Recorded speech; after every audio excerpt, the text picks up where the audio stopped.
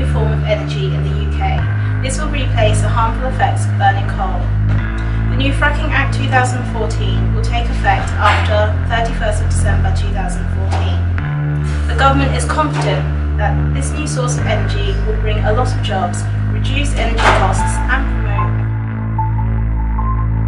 Shell has had a great contribution to greenhouse gas and coal over a 20 year period. Mm-hmm. It will cause minor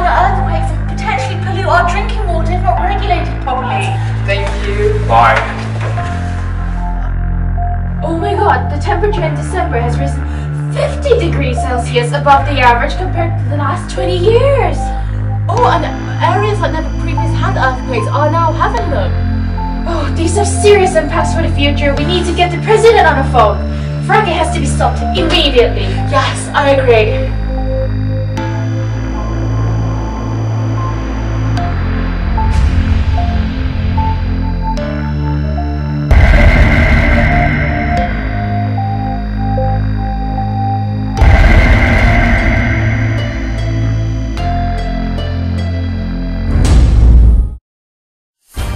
We have warned the government millions of times of the consequences of fracking.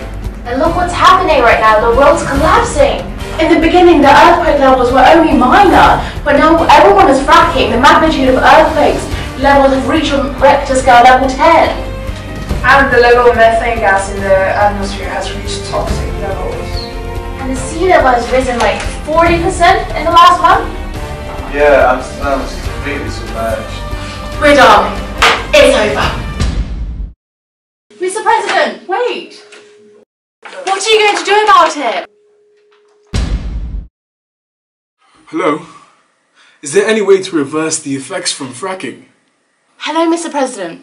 No, there's no turning back. You should have listened to us from the beginning.